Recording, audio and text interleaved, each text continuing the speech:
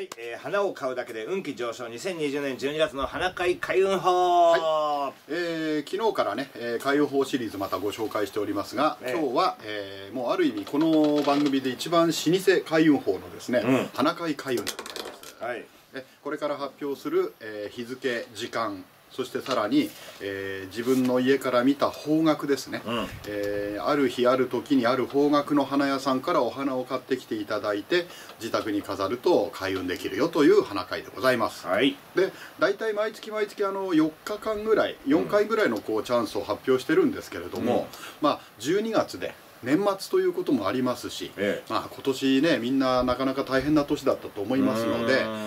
ー、ちょっと年末大盤振る舞い企画ということで、えー、花会のチャンスがですね、うん、えー、効果ありそうなの拾ってみたら、うん、9日もあったんですよ。12月中。そう31日かのうち9日ってすごいでしょ。3分の1ぐらいは。3日に一遍ぐらいはチャンスあるぞみたいな状態になって。まあ、ここまで多いの初めてじゃないですか？そうですね。あのやっぱり星の偏り方によるので毎月均等ではないんですけれども、えーですから、あの明るい2021年を迎えていただくためにですね、うん、ちょっと大盤振る舞いで、えーと、これから9日間というかあの9回分のチャンスを発表いたしますので、はい、えー、どこか、まあ、1つぐらいはね、うん、やってみていただきたい。もちろん全部やっていただくに越したことはないんですけれども。うん、ということで、えー、9つ発表しますので皆さん注意深く聞いてください。はい、でまずその9つを2グループに分けまして、買ってくる方角もですね毎月大体1箇所っていうか1方向しかなかったのが、ええ、今回は実は2つありますので、えー、その買う方角別にグループにまとめて発表いたします。なるほど。でまずこれから発表いたしますのは西南の方角から買ってきていただきたい。西南。はい、えー、通常の北上地図で言ったら左斜め下の方が西南になります。西南。はい。で、えー、西南でまず一番早い日時が、ええ。えー、7日の月曜日、うん、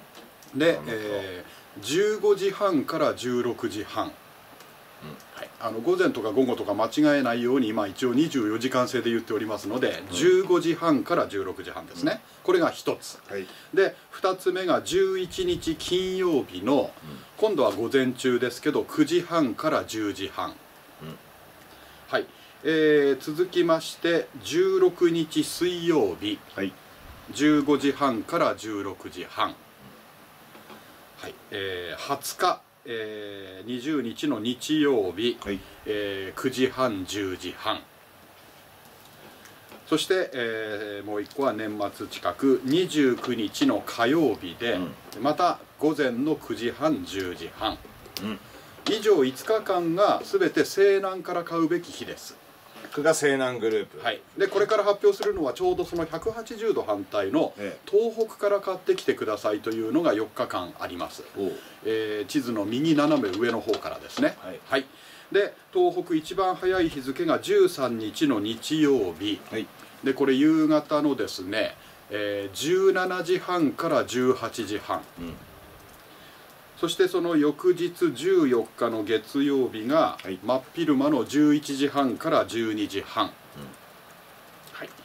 で、えー、3つ目が22日の火曜日、ええ。ー、やっぱり夕方、えー、15時半からあごめん、えー、じゃあね17時半から18時半。失礼いたしました。17時から18時。半はい、はいで、えー、ラスト23日水曜日がお昼を挟む11時半から12時半。はい、はい、以上、えー、9回のチャンスがありますので、ええ、まあこういうのをやってですね、えー、安心して新年を迎えられるようにしたいものだと。うんそうですね。ですよね、えーまあ来年はもうちょっと盛り上がってくれるといいですよね年がね。そうですね。まあみんなねそうあの気を持ってですねなんか今年空白の1年みたいでしたもんねなんかね。ちょっとね。いろいろありました、はい、ということで、はい、えー、花買ってみんな頑張りましょう。会話してください。はいまた明日。明日